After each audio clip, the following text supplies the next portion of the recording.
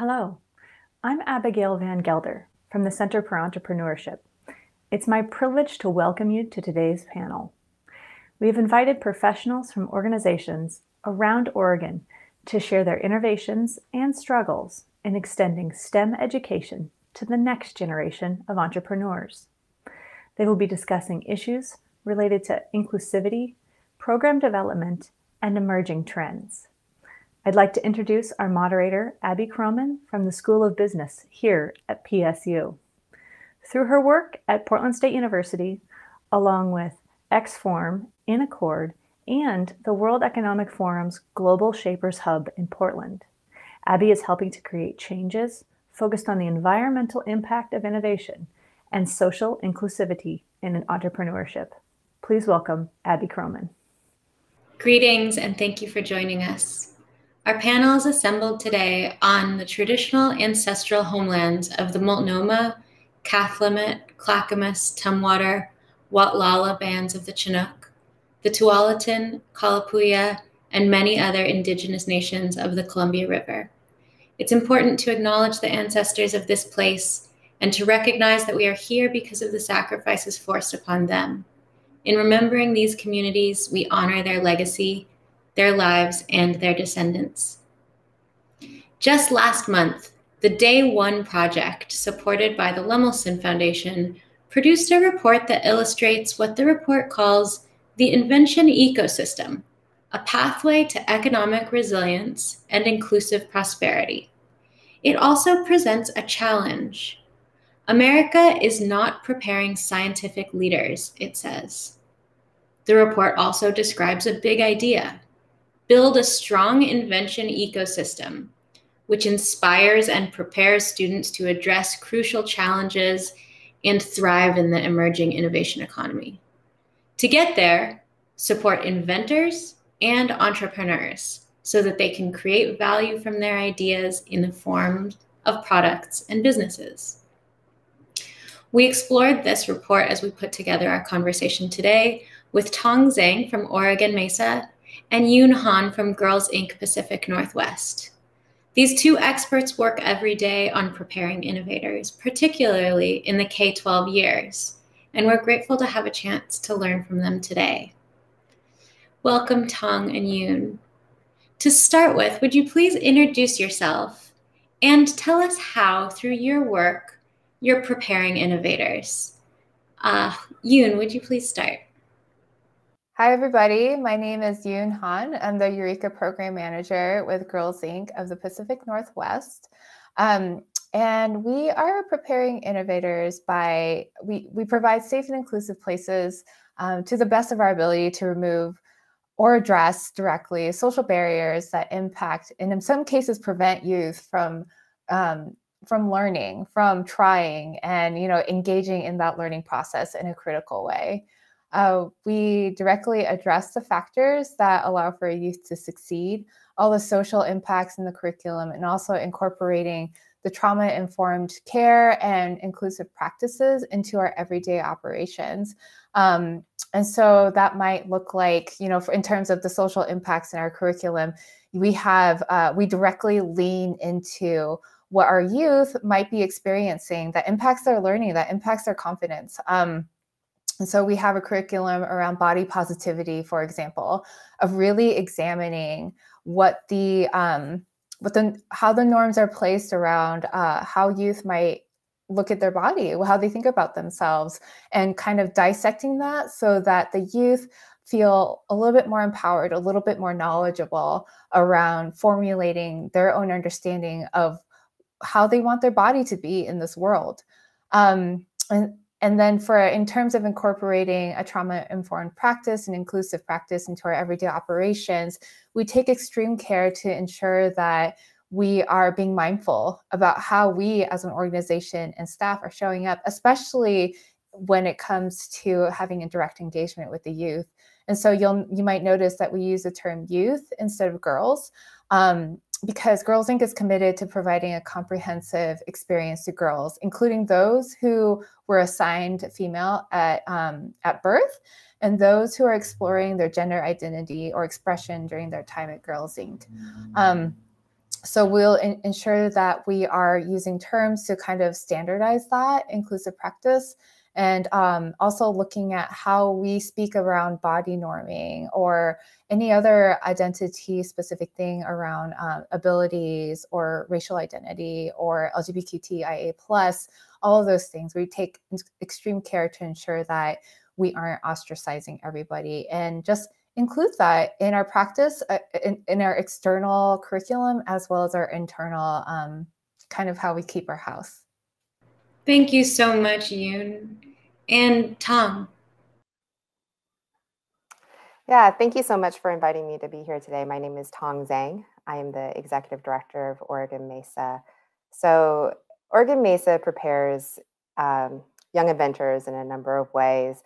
For a long time, MESA has been um, a purely STEM program in the fact that we work with middle and high school students through providing professional development to teachers. And then the teachers are running programs in school and out of school. So it's based on this national model that actually uh, is now celebrating its 50th anniversary that was based out of um, the Berkeley area and really came out of the civil rights movement in providing more opportunities for students of color to engage in um, engineering specifically.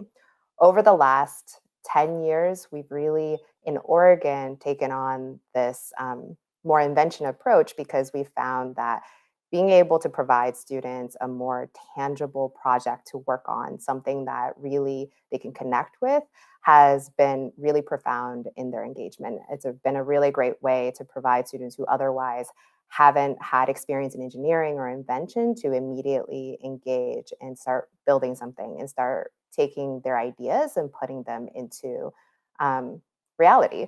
So that support has really been um, that initiative has really been supported by the Lemelson Foundation, and so we partnered with them in creating um, the invention toolkit, which is something that we are training our teachers on. And yeah, we're really excited to be able to continue building our um, our area within the in Oregon. So predominantly, we've been in Portland for uh, a number of years, and now we are expanding Mesa to more places around the state. It's really interesting that you're both working on on regional initiatives that are a part of larger national models that have a really long history. I think we'll come back to that later in the conversation. But first, let's talk about innovation education. Why do you think that matters? Why do you think an innovation education matters? I can take a quick stab at it. Uh, so, I think I touched touched on this a little bit when I was saying that we used to focus much more on just STEM and engineering specifically. Uh, we've really pivoted this way because I think that invention education is something that in our way that we do it we usually we really use a human-centered um, design basis to it where students are engaging with a client and then they create a working prototype for that individual that is a really interdisciplinary way of being able to learn so you go all you use skills from knowing how to interview people knowing how to create a design brief you then get into sort of the hard STEM skills of math and you know and engineering when you're actually creating your prototype. And I think it's just really critical because you know the real world is not discipline based. It's actually very interdisciplinary, and there's just the way that you problem solve is never just like oh i'm only going to use my math skills it's like you're going to use your math skills and your your english skills and your art skills you're going to really combine them together and that's why i think invention is um, specifically invention education is so important for students to get at a young age so they can start really applying these different concepts uh, in projects. Yeah, and I absolutely agree. Nothing kind of operates on its own as we see all the time, right? Like you can't treat just math by itself, uh, especially when you're working towards a solution or working towards or addressing a problem uh, to be able to incorporate an interdisciplinary approach, but then also uh, to incorporate the the self in that as well is kind of where those values around uh, increased focus of having more diverse workforce, incorporating more voices at the table becomes so important to understand that not only is it an interdisciplinary approach, but it's also um, you know humans are needed at all from all backgrounds, correct? In order to be able to ensure that wherever we land with a product, service, or business, it is reflective and comprehensive of addressing the whole of the problem. Um, and I would also just add for the in- innovation education in terms of why it matters and enrichment and uh, with ed- informal ed- educational systems, what have you, that for youth to practice practice being in innovation. I think you know for youth to be able to really kind of apply practicing the interdisciplinary nature to practice failing or what they might perceive as failing or you know to practice working with team members and how to use different soft skills to uh, be in a real situation within a workplace uh, to to create a solution i feel like within um, it, it's important to have that practice when you're at a younger age so that when you do get into a more professional setting you know those um, those norms around failing, those norms around like collaboration, like who has a voice at the table, those sorts of things are youth have a chance to be able to find their footing in that a little bit earlier so that you know it helps to set them up for success later um, so that you know they're not at 40 being like oh i wish i knew that or i wish i had that sense before when i was 10 years old so that you know without to minimize that sense of loss or you know kind of wanting to be able to be in informal education a little bit more. You know it's just building that muscle memory to apply that learning to practice the critical thinking um, and yeah just to have it couched within with folks who are in a similar place of that of you know practicing that innovation learning and practicing it with um, with caring adults who are there to support their their growth and their learning. Yeah, I was just going to add, and I, I, yeah, I was just going to add that I completely agree with you, and especially about the being able to practice some of those soft skills because we're uh, at Mesa, we're based at the Portland State University College of Engineering and Computer Science, and we see a lot of our engineering students um, having to do those team projects you know it's useful in the career field but it's also really useful once students get into college and having to especially in the stem fields having to do work group projects. And i see the struggle of students who've never had that in the background and having to navigate how you work on a team how to manage uh, deadlines the capstone projects that students have to deal with are usually extremely stressful. And so to be able to get that sort of uh, experience earlier on and understand how do I navigate with other team members? How do I become empathetic to their needs? How do we both like still set goals? So I hear you both talking about the skills and skill sets that future innovators might need to have. But let's get specific. What are the skills and mindsets that a future innovator needs to have in the frameworks that you're working with? Uh, Yoon, can you please? Absolutely. Um, and I think with it's very apparent with our world, kind of where we're landing. It's about a year since we've all shifted to virtual, since we've all shifted to, you know, in many different ways, going from being quarantined and like adjusting to how our world has changed. Um, and so I think it's really important for a skill set of a future innovator to kind of uh, not get too comfortable. I think there's always a um, benefit to being open to knowing that change is inevitable that you know one day all of a sudden things might be very different in your world. And so not being afraid to going against the norm you know it's really important to have some creativity and flexibility and pra- yeah practicing that creativity and letting it have in place in trying to figure out some solutions. Um, i think it's also really important for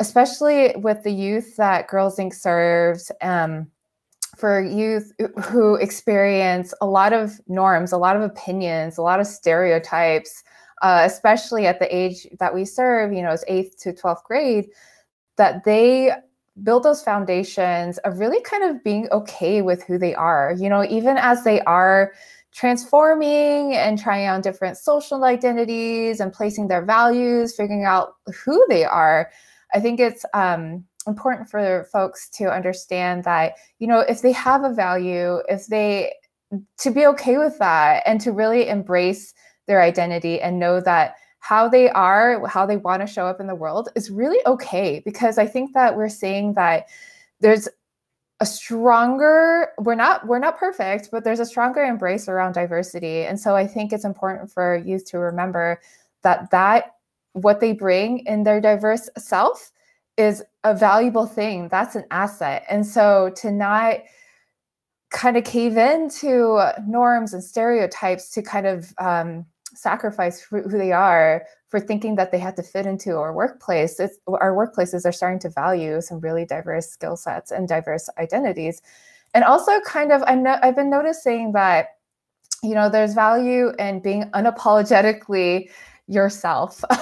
and so having that sort of temerity and bravery to just show up as themselves, embracing their identity, their values, um, to have that mindset of like i'm okay with who i am and i'm going to bring it and i know that it's an asset um, and kind of uh, similar but uh, a little bit apart from that of course the growth mindset of approaching every failure as a learning opportunity as knowing that there's something to learn from this as, as kind of being able to navigate any barriers that come up and not seeing it as like a barrier as more of like okay this thing happened let's see what we can do next um, yeah, I feel like that those are some important skills and mindsets to, for future innovators to keep in mind. Thank you. I love bringing your whole self as an asset. Tong, how about for Oregon Mesa? Yeah, I agree with everything that Yoon was saying. And I think especially about being open and being unapologetically yourself. Uh, I think also in addition to that, knowing yourself really helps to get you to start to become empathetic to other people. I think that I we find that that's something that is really important in when we're trying to uh, support our young inventors and any future innovator in really thinking about you know how do i want to change the world how do i want to make things around me better and really being able to identify with people and taking the time to understand needs i think really makes you not just I think, a better person. Also, I think, makes you a really um, competitive asset to any environment you're going to go into because when you understand people better and when you take the time to understand diverse, not just diverse viewpoints, but the diverse life experiences that other people have, it helps inform how you're going to be an innovator and how you're going to create solutions that people might actually use in the future. Because I think that's something that people often um, it's easy to get into when you're really great at let's say building and you're really great at having ideas you start thinking about that your ideas and the things that you build are the only ones that matter but what's challenging about that is that if you're truly let's say going to build these things into a venture in the future or you're trying to um, uh, create a solution for the betterment of others say that's your intention, but you don't ever ask others and you don't ever get the viewpoint of other people, then you're bound to not be as successful as you could be. And really being able to build that, like, those that curiosity about other people and really being able to um, understand people who are different from you in all aspects, like where they grow up, obviously, their culture background, their gender, their other identities, like that is all really going to be extremely helpful.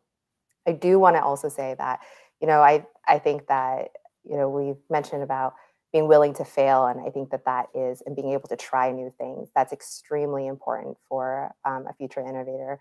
Uh, but I just want to also acknowledge that I know that that can be really difficult and challenging for those um, that some people don't actually have the privilege to fail. So uh, when we talk about failing, we usually talk about that in the context that like you're not going to fall forever because somebody's going to catch you. And I think that there are a lot of young people and people um, from backgrounds where, you know, the cost of failing may be too high. And I just want to make sure that we acknowledge that and then we start to really understand how do we build a social capital so that students can feel, students and young people and future innovators can feel like they have the environment where they can try things where you know the cost of failing won't be so high. Let's say that they are the students or the young people who got the first scholarship in their um, in their uh, in their families, but then they want to go to college and they discover something that's maybe a little bit more risky of a major. Let's say they want to, I'm just going to put it out there, if they want to be an art major, art majors are fantastic. But if you're coming from, let's say, in my in my background, if you're coming from an immigrant background, if you're going to be an art major, um, that may not be as successful for your family in terms of socioeconomics. That might be a really uh, risky endeavor for you to go into. But we have to be able to support students in being able to pursue those and acknowledge that not everybody has the privilege to be able to select um, those opportunities where they can be innovative. So building support system, building mentorship programs, and being able to um, recognize that there are that that in itself, being able to take that risk, is um, not something that's just about an individual. It's something about a whole ecosystem. Um, and then yeah, I think that being able to be open to the possibilities that you have and realizing that being a future innovator also means that you can like start with small things. Not everything has to be world uh, changing. So there are like small, you know, like Yuna was talking about, we're in the pandemic now, and I think that there's you know really small innovations that I'm just seeing every single day. And I think that being able to open your mind and thinking like, whoa, huh, I wonder how can we change those things, and not it doesn't have to be um, a big uh, invention all the time. If I can add onto that real quick, I really appreciate you bringing up that last piece, Tong, around um, privilege around failure, because you're correct. Like people can't afford to fail sometimes because of whether it's societal norms or how that identity shows up in a workplace and how other people respond to that, and maybe financial.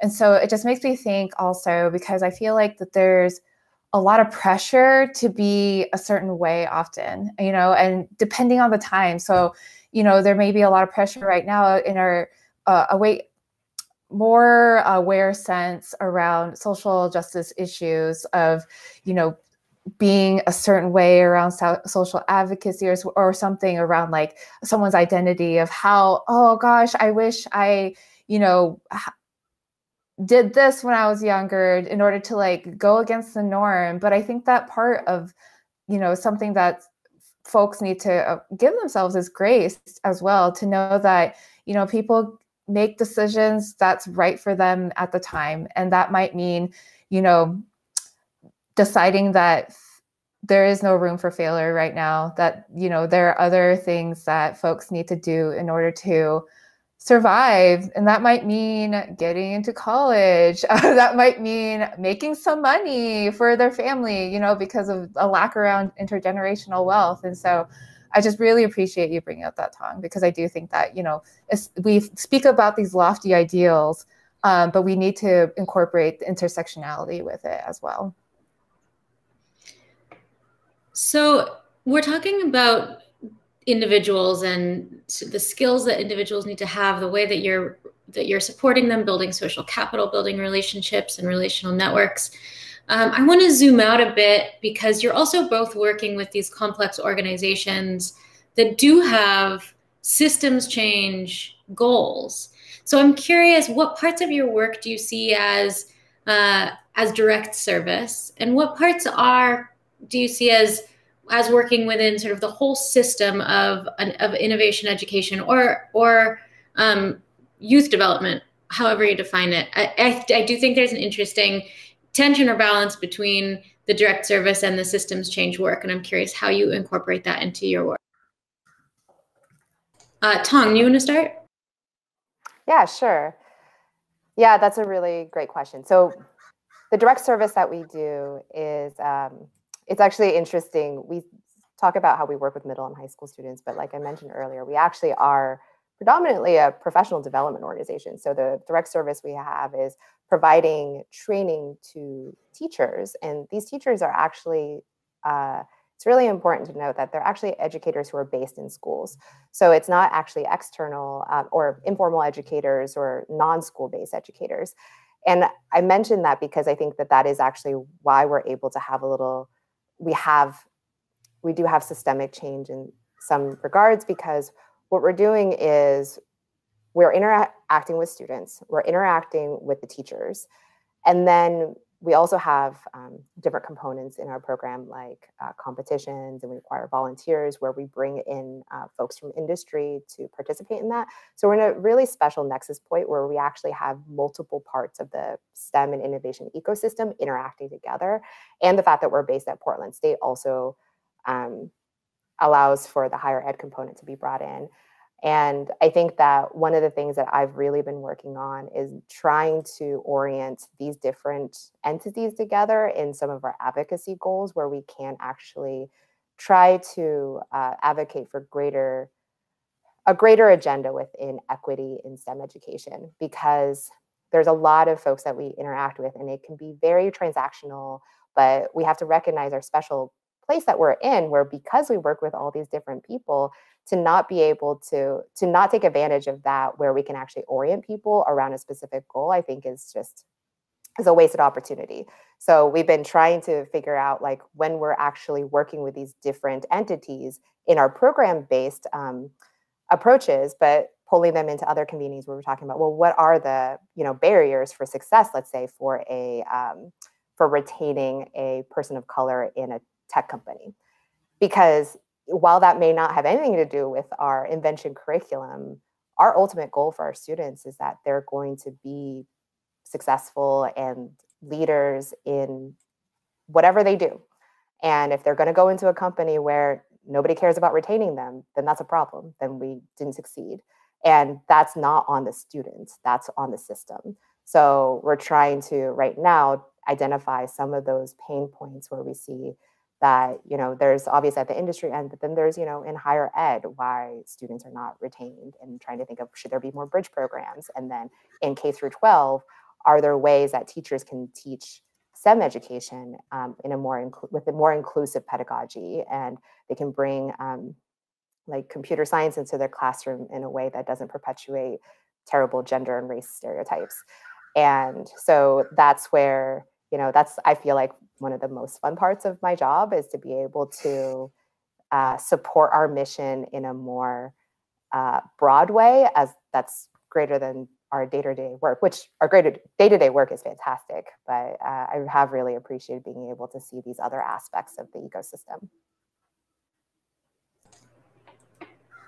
Yeah and you touch upon so much that i agree wholeheartedly with and you know with our direct service with the youth we definitely approach it as sort of a fractal within a larger and and can be reflective within a larger scheme. Um, and so with our direct service, you know, we encourage them to practice some of that hands-on, minds-on, untimed, ungraded, all those opportunities to, you know, bring in different mediums to provide the exploration within a framework of, you know, innovation and solutions-based thinking um, and you know couching it within a community space. And so providing that network of caring adults who provide the guidance and mentorship and also the safe landing spot to help youth process and communicate and develop those soft skills um, and promoting that that there's no right or wrong.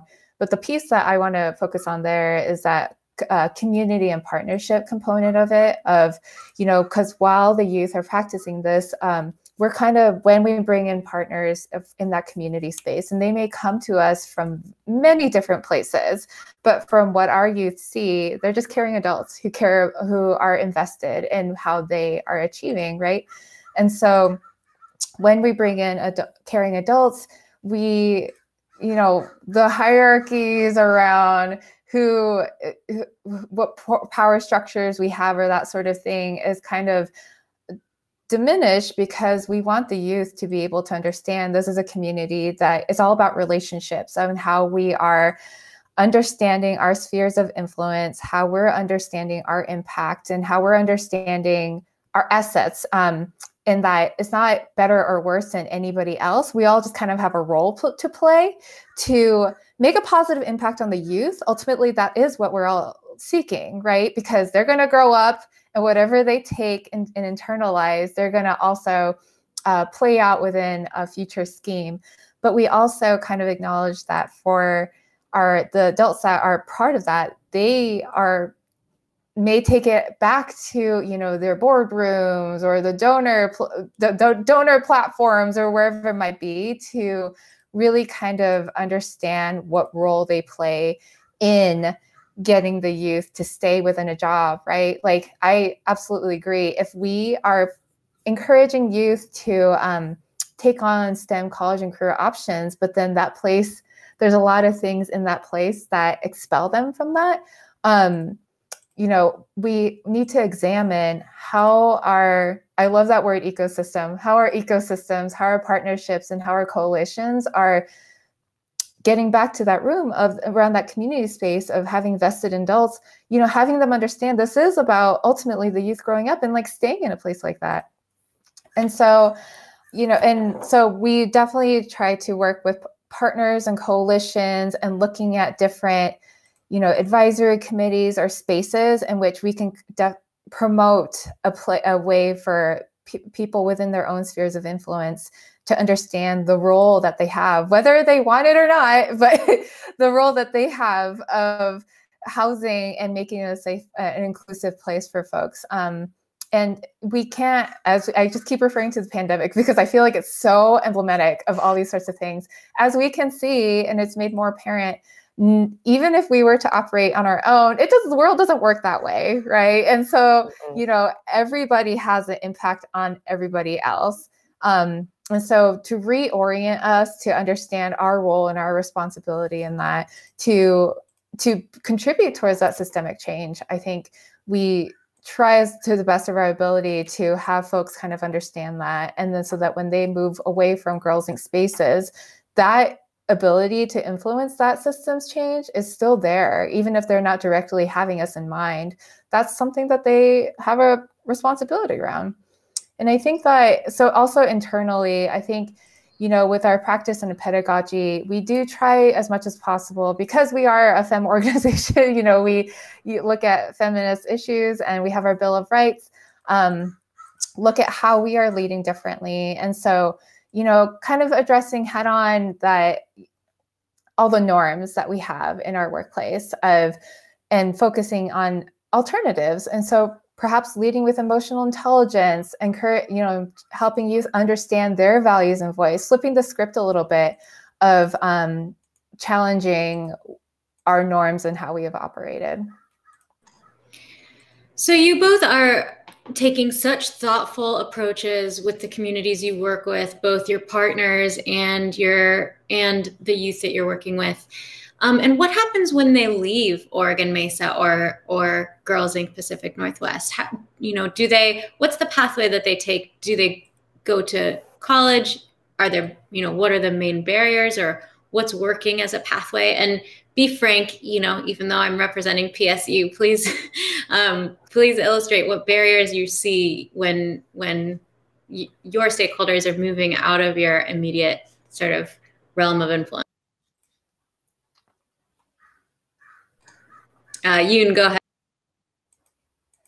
Yeah, so we, as a goal of Eureka, of course, we acknowledge that STEM career options are, we want the youth to be economically empowered. Um, and we acknowledge that STEM is one of those, you know, higher side, um, higher paid uh, jobs out in the marketplace. And so we definitely encourage youth to also, with Eureka being a STEM program, is to have youth choose college and career options after they leave Girls Inc. And so a lot of our language, um, a lot of our curriculum, a lot of our practices point youth in that direction of looking at higher education and also having that focus within STEM.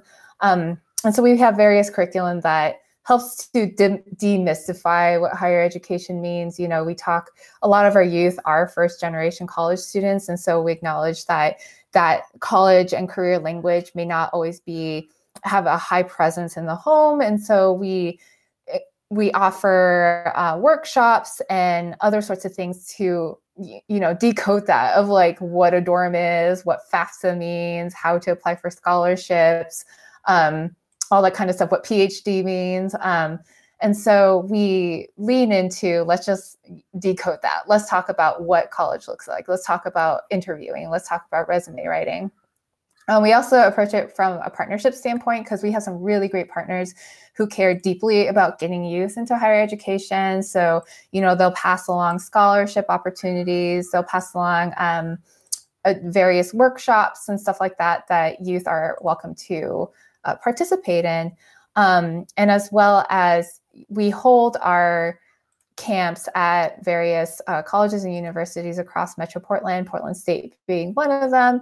Um, and to kind of build that familiarity for youth, you know, when they're making a college option of, oh, I'm familiar with Portland State. I know where the Mesa building is. I know where the rec center is. You know, having that familiarity is very um, accessible for youth. So even so, as they're making choices, they may consider Portland State or apply that learning towards understanding how a campus is set up elsewhere.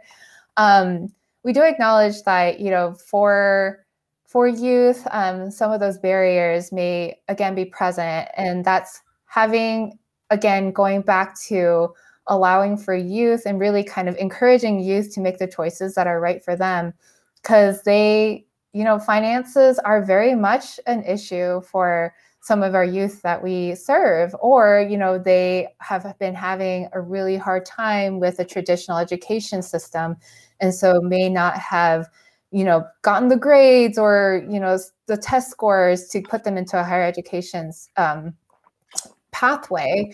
But we've embraced that for all of our youth they are in different pathways to better understand how they show up in STEM or what their future career pathway will be. And so we part of our curriculum, part of our pedagogy, part of our engagement with the youth is really having them suss out what are their goals, what are they what are their goals and what do they need to do to get to achieve that? So that if they do ultimately want to go to college um, but may not be in that same place let's we talk to them about like all right like how do we get you there? Or we also explore alternative ways as well um, and I think, you know, one thing with higher education institutions is I, I, think it's really important for them to consider how they're building the relationships. I'll always go back to the relationships because ultimately I feel like that that's one of the more most powerful tools that we have uh, for engagement and for um, building relation, just like having that as a framework. Um, and so while we have our youth, go to colleges and universities, we also really love to build a stronger relationship with the faculty, with various staff members, whoever it might be, so that we, us on the program end, can really understand all that we can offer for the youth, um, and on the higher institution end of it, to understand that it's a um, investment back into the community, regardless of whether or not they choose to go to that specific institution. Um, it is all within the larger objective of, you know, caring for our youth and, and ensuring that they can, that they are capable and able to make those choices. Interesting. So you're saying that the pathway really requires uh, both universities to be building it and for youth organizations to be building it and somewhere along the path we're working together and meeting. What do you think? Yeah abby uh, that's exactly uh, that's i 100% would agree with that and i really appreciated you talking about um, relationships because i mean i think this is the truth that we experience but also probably the truth that people don't want to talk about which is that it takes a lot of people and I think that people are always oftentimes looking for a quick fix where it's like, oh, we're going to have this one solution and hand wave it. And then that's how we're going to get, let's say, more underrepresented or first generation students to specifically matriculate and then actually graduate. I think it it all comes down to people and the fact that, you know, you were just talking about the relationship between youth serving organizations and higher ed, the handoffs are oftentimes pretty rough. Um, and not just between an organization that's not based in school, the handoff between high school and higher education um, actually does not exist. It pretty much is you graduate from high school and then good luck. You get to, if you got into college, fantastic. But I think that really thinking about it, I've had the you know opportunity to work with some students just throughout my career um, in that not just the application phase. I think we focus a lot on applications, which is important. But once you get into college, that phase between, let's say, the spring of your senior year and when you're going to actually finish the first term of college is some of the most important time not of the entire college experience but some of the most important time because having to deal with their financial aid having to be able to um, know the right sign up for the classes um, i've seen so many students go through that phase those phases especially if they're first generation college student and being completely confused. And I don't blame them because oftentimes I'm helping them and I'm like, I don't know.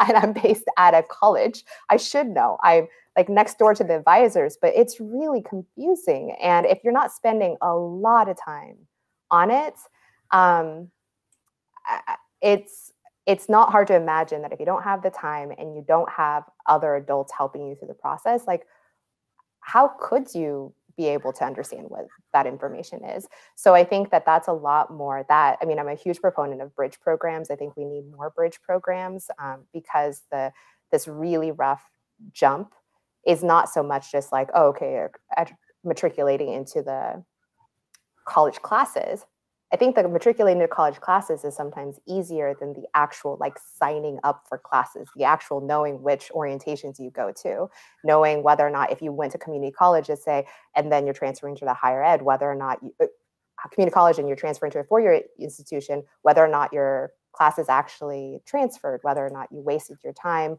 on some credits that you know you spent money on and now won't be able to transfer. Um, I think that those are a lot of if we want to retain students, uh, I think it's really important to think about how can we make these handoffs more seamless for the student experience. So, you know, I always go back to human-centered design. How can we actually design this system so that it is actually user-friendly? Because I think currently it's not user-friendly. What happens with Mesa is that we try to expose students as much as possible. Um, and I really appreciate what you was talking about, trying to decode some of these elements of um, what the college experience is like. That really helps to get students excited about college.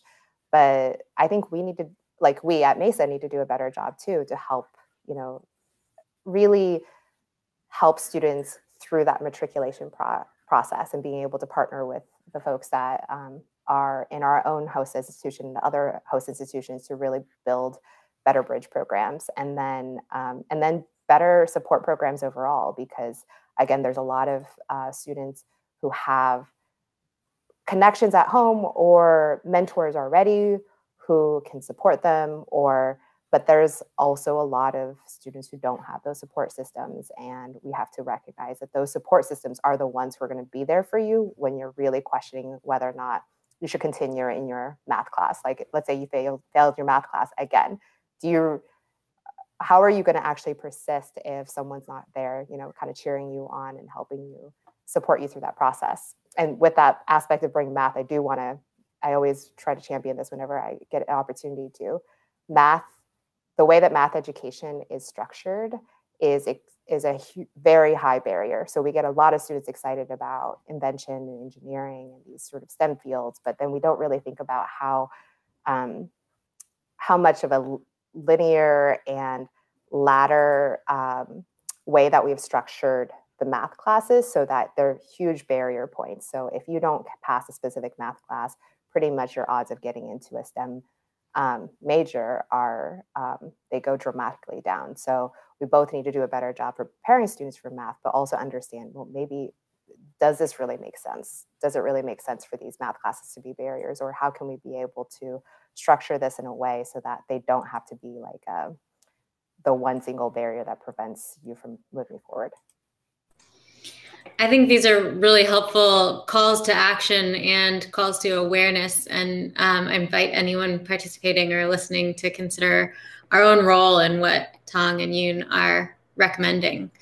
Um, so, with all of what you're describing, it sounds like things have changed so much since your organizations have started 50 years ago. And I'm just so curious what's going to happen in the next 50 years with invention and innovation education and the kind of youth service work that you're doing. What do you think? What do you think is the future of innovation education? That's a huge question. it sounds like um, you have the answer. You. Oh gosh.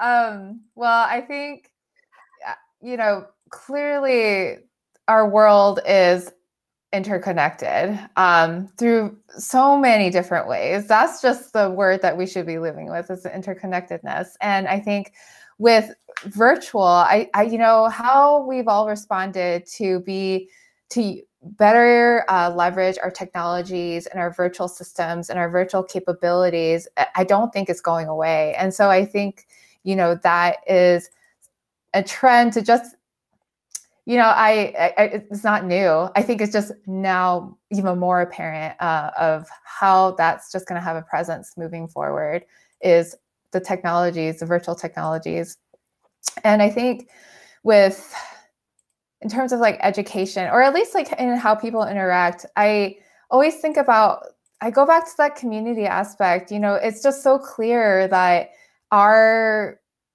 our ideals are at least you know western facing ideals around individualism or grit or ruggedness you know that's can't that can only get you so far. But when but when folks work in a, as a community and and share resources and you know help to leverage resources and work together that that is much more powerful and impactful. And so i think I hope that you know in the future that there's a stronger focus in that of understanding the power of community rather than just the individualism. And sure, of course, everyone has individual skills and traits that uh, contribute towards the the bigger picture, right? And so uh, having that asset based approach, but you know to uh, take that within a grander schema around community, I think I really hope that that has a stronger foothold for the future and also the how important it is to just talk to each other and work together you know check in with you know various um, parts of our institution as we ha- have seen through the rollout of certain things how you know one thing that i just keep hearing is um, i wish that my voice you know had a stronger presence in that decision um, so that you know how i show up in this decision feels a little bit better, feels a little bit easier to implement. Um, and so that I hope that that's something that folks are taking away is around really understanding the power of collaboration and to be able to just eh, have those communication skills and also collaboration skills. Uh, I'm really glad you you took that uh, to begin with because it is a really big question. And I also want to say, usually I'm like the yay community person on a panel, so I'm really excited excited that Youn is also all about that. So I don't have to say those things, but I just wanted to say, like, I 100% agree with those. I'm not just saying like, you know, anyway, I'm not just saying silent on those items because I just feel like you you've already covered them. Uh, I think the other, I think one thing I want to expand on from that I've seen.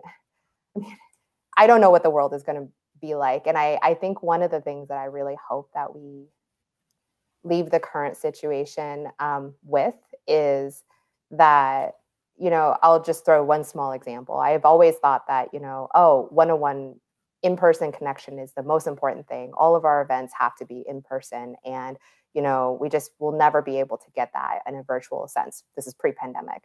And I've realized that, you know, there are actually some things in the virtual environment that actually work better. And I've had, it's not like I devalue the in person connection because I think that that is still extremely key, but it's really challenged my way of thinking to think, you know, what is the way that we've done things that we've always done it just because we've assumed that that's the way that we should be doing it? Mm-hmm. And how can we take the lessons of what we're learning now to really be able to apply it um, to the future? So let's not leave this let's let's not leave this pandemic having learned no lessons and just go back. What i'm actually really afraid of is um, one of the things that i've seen that is i think a huge detriment in certain environments is that especially in education um, i think uh, it gets worse unfortunately at a higher ed institution let's say in big like sem classes where it's just lecture based right?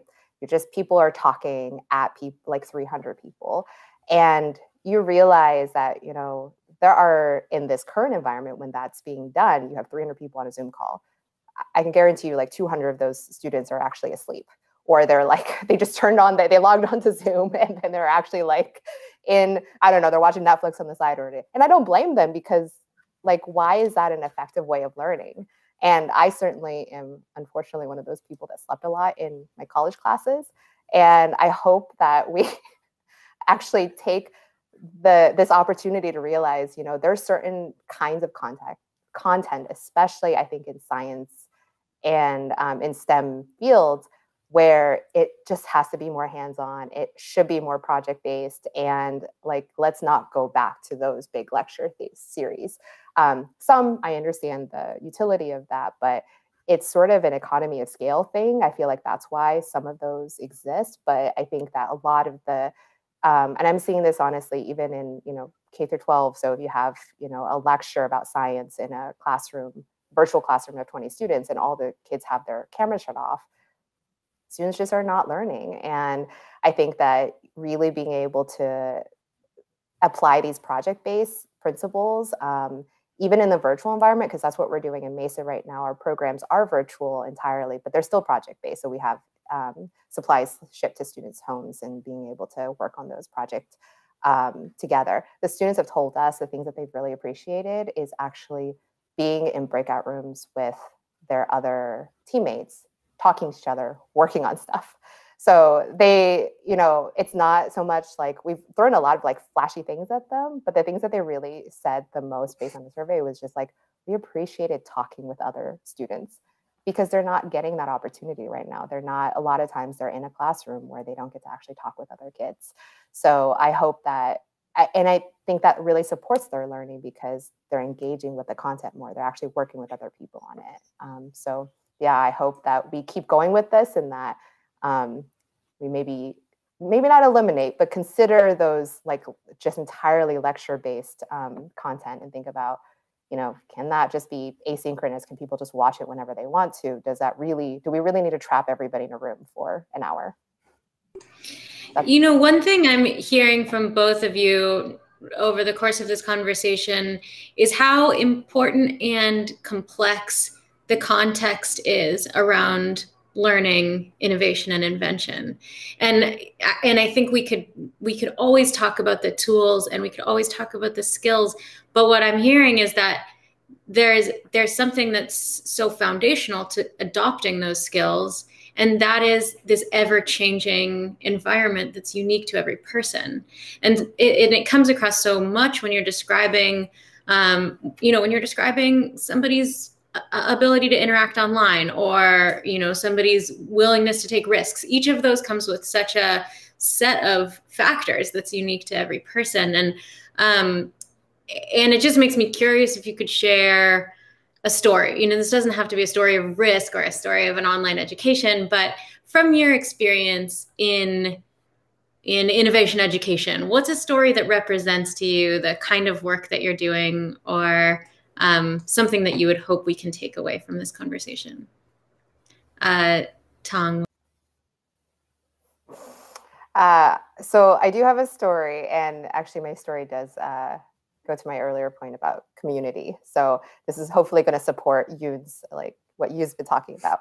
Um, I think that one of the things one of the stories that really, I think, best exemplifies the ecosystem, um, not just approach, but the way that all of this is um, interconnected, is we had our first demo day, which our demo day is kind of similar to other demo days that people know about. We actually, um, in our invention ecosystem, uh, really learn from our other PSU colleagues, uh, like, uh, and be able to develop our first pitch competition. So the pitch competition was for, um, it was back in 2017, the first that we had. And what was really amazing about that was that we've had competitions in the past where it was just like, just for students and um, just for uh, our Mesa Day competition. But the demo day competition uh, was one that we ended up uh, wanting to host because we wanted to be able to provide students the opportunity to share what they were doing with a wider audience and have that wider audience be um, an open audience, so anybody from the general public. We were really hoping to use it as a um, as a uh, volunteer recruitment um, method, and it didn't quite do that. What was really interesting was the way that we helped we hosted it and all the sort of like after effects from it. So one, we ended up hosting our um, our demo day at Ziba Design so Ziba Design is a product design firm um, in Portland, and we ended up getting connected to Ziba Design because we had a um, a parent of a student who was at one of the Mesa schools uh, actually have a connection at Ziba. And we were telling them about demo day, and they're like, oh, well, have you ever considered Ziba? We have a great community room. Would you like to have that um, host your event in that room? We're like, oh, that's fantastic. So we got connected through them.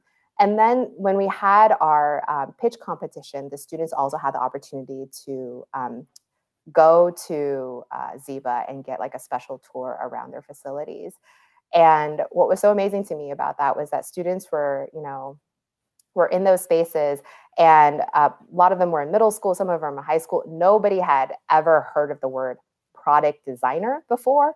But coming out of that, all of our students wanted to be product designers. Like they were just like, we were just, I remember them um, coming out uh, after their tour and they're like, oh yeah, I want to be a product designer when I, when I, you know, in the future now. And it was so amazing because that, that like sort of place-based experience was so critical to what, um, what they were doing the other aspect of this like demo day experience which i really just like it's a very special 2017 demo day experience was that we also um, invited juan barraza to come and be one of our judges for um, for the event. And at that event one of the teams that ended up presenting was uh, from mckay high school. And he connected with those students from mckay high school and then later those students went on to actually compete in the clean tech challenge and win the clean tech challenge and then later compete in Bend Oregon. And i think that like that's sort of a messy story but one of the most important things about it is like i feel like we had all aspects of the the ecosystem at play. And some of them were in, unintentional some of them were intentional but i think the more opportunity that we bring people together in different respects like from companies, from the educators, from students, and allow not for people to operate in silos. That's where like I think really beautiful things happen. And so I feel like that's what um, that's one of the things that I've really appreciated um, being able to operate in our space is because, like I mentioned, the fact that we get to interact with all of these different segments. Yeah, so I would say that that's probably the story that um, I love the most and best exemplifies uh, what I think that we're doing in Mesa. It really does. Thank you so much. Youn, what what story comes to mind for you? Yeah, thank you for sharing that story, Tong. I feel like it's, it's such a just such a good example around how when folks work towards a, a similar goal, how like the impact that that can really have. Um, and to share the the shout outs, I kind of, I, my story that I'm going to share uh, kind of goes back to what you had shared, Tong, around the um, youth learning from youth or youth just learn, just having that space to learn and grow together um, element of it. Because if I think about my, I've been in informal education for um, quite some time. And if I think about all of my favorite moments with the youth, um, it often comes from an experience in which the youth are able to challenge themselves in a way that that removes all those sorts of um, you know lack of confidences or any you know insecurities that they have from, from, about themselves so that when they participate in this particular activity or problem that they get to really shine and that their assets really get to have a place within that community. Um, so I think of one particular example where uh, youth were trying to just solve a problem, trying to figure out how to be able to either come up with, and in, the, in this case, it wasn't a product, it was more around how do we um, work together as a team to be able to come up with a solution for this. And it was just what I took away from that was just how the youth were so supportive of each other um, that you know because of the fact that their insecurities that their um, anything that might give them pause was not necessarily as present of how much space that allowed for them to show up in group care you know their self-care had been taken care of and so they were able to show up in a stronger way for group care and so that allowed for the group to really support each other in uh, sharing their ideas and you know have it be an open space of hey, you're really good at this. Why don't you do this? And um, folks being open to it and really embracing it and stepping up uh, as a part of this group toward group work towards a solution. And you know, that's just so um, proud mama moment to see how you know folks are have a chance to apply their learning and really kind of shine in the moment. Um, and so those are the stories that I that I look back to often is how to be able to recreate that over and over like what are the conditions that allow for that to happen? And how what what are those things that we just don't let go so that the youth can continue to do that and feel proud of themselves in that moment? Thank you so much to both of you for the stories and the insights. I it sounds cliche but i think what i'm hearing is like we uh, it takes all of us and we all have to be um, we all have to be putting out the effort like you in your example of the pathway between youth organizations and uh, and universities or higher ed that it's that it's two ways. And and that may be the case in every moment here. So i um i'm hearing that and and also thinking about how i can make it actionable.